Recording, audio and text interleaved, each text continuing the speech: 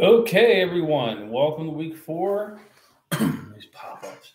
Uh, so, in week four, well, let's talk, let's recap the past few weeks here. So, what I hope you've learned so far is that there's a lot of importance in being creative and thinking beyond uh, the proverbial box. I hate to use that term, but um, anyway, it's relevant in this particular situation. Remember, creativity is very important when it comes to innovations, need to be entrepreneurship or to build your organization as an employee. It doesn't make a difference either way. So it's important for us to be very creative and innovative. And sometimes in the work world, that doesn't work out as well as we'd like to. Uh, but still, I think a lot of great results have come from creative thinking critical thinking and really looking at details. So by now, you should have your business nailed down uh, exactly what you're going to do. And your executive summary should be submitted, or at least this is Sunday when it's due today, so we can move forward. So, um, as we move on, there's a few points I want to make here. Uh, so, week four, we're going to talk a little bit about the external analysis.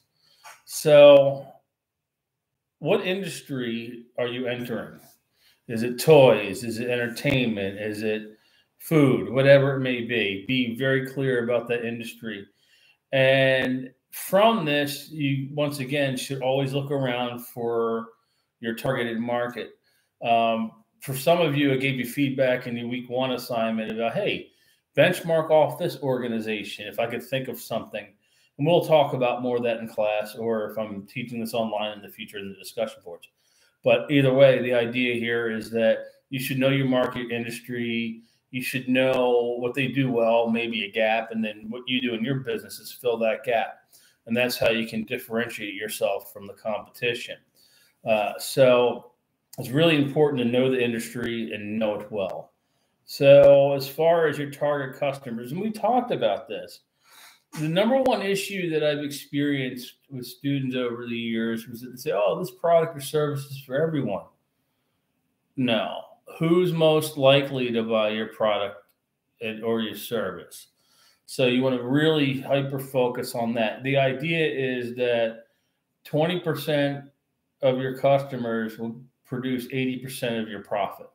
It's the 80 20 principle. So, for instance, we talked in class, or uh, for future students, if I use this recording again, we talked in class about different products such as uh, Lululemon. I keep calling it Lululemon, but uh, you know, I'm like, well, that was women's outfits. And I remember years ago, grad students telling me, oh, they should do a brand for men. I'm like, I don't know if that'll work out. Lo and behold, I was wrong. Apparently, they have stuff for men.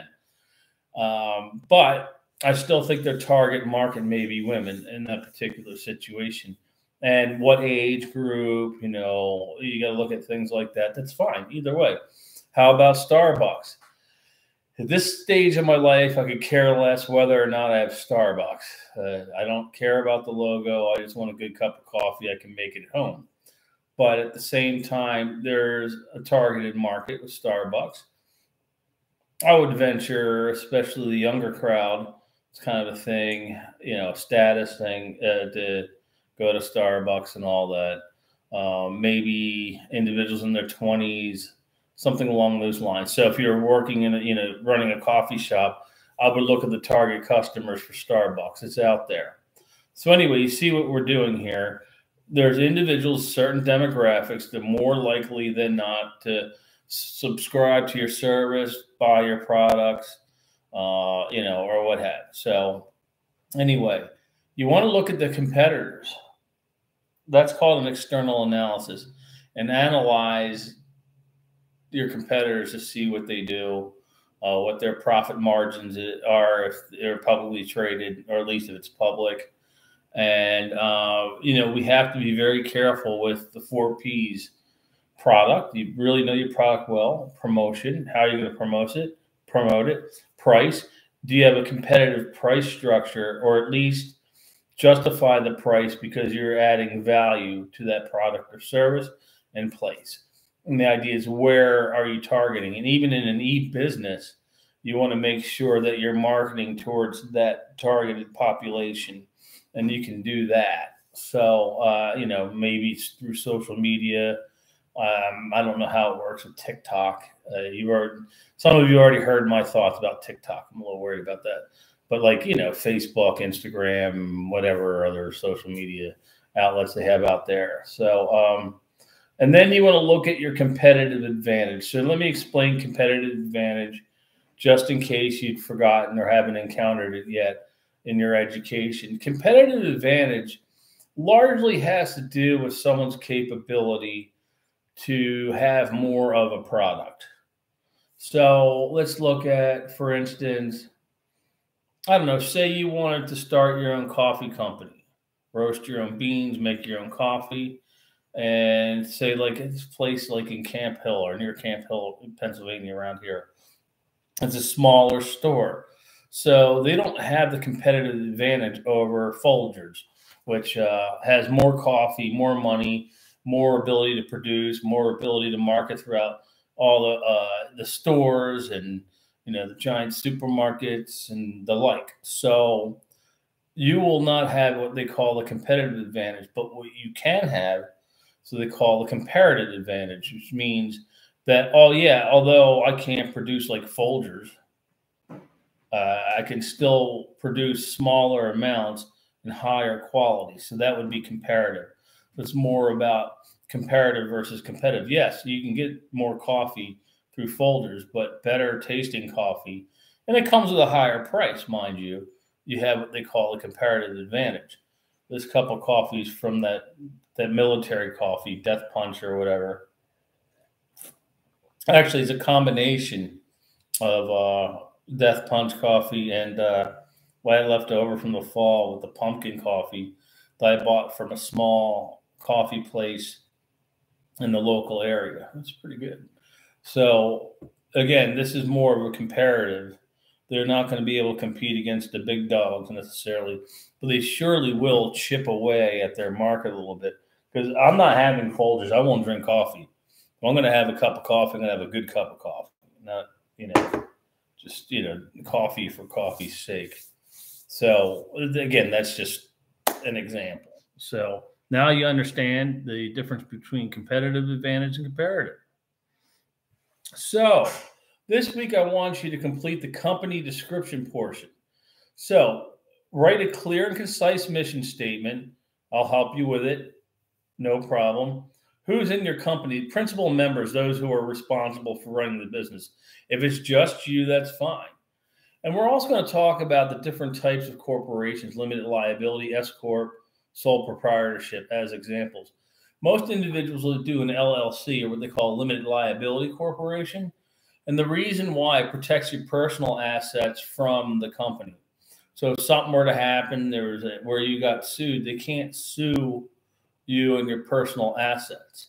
So they can only go after your company, and your company has to have liquid for them to really absorb it. So there's different tricks I'll talk to you about, but there are ways to go ahead and say, all right, I have an LLC here. I started this LLC. I'm creating another company, another LLC. And as part of funding that company, I'm going to go ahead and transfer the profits or some of them over to the LLC, the other LLC, which is not affiliated with this LLC. And then, you know, you can always take the money and put it in your account, quote unquote, pay yourself. So, but either way, you would have insurance anyway, so probably not an issue. But uh, the idea is they can't come after your personal property. There's all kinds of sneaky things you can do. Like if you have kids, even if they're like eight, you can employ them because it's your small business. You know, they could be washing a car. Oh, you know, I'm going to pay them, and then that could be uh, something towards your LLC. Could be a write off. That gets really difficult though you would need an accountant for that, not me. So uh, limited liability is generally the uh, chosen one to protect your personal assets from uh, being under attack because of a lawsuit. So uh, sole proprietorships are a little bit more riskier because then you don't have that protection as an idea. So we'll talk about that. I would venture that most of you would probably choose limited liability corporations. And so we'll talk about that. But uh, anyway, be very clear and concise with your mission statement. Uh, identify the principal members of the company and feel free to describe what it is that you will be doing products, services that you'll be offering in great detail. That way, once you write it down, you have a clear idea of what you're doing with your business. Well, that's all for now. I will see you in class.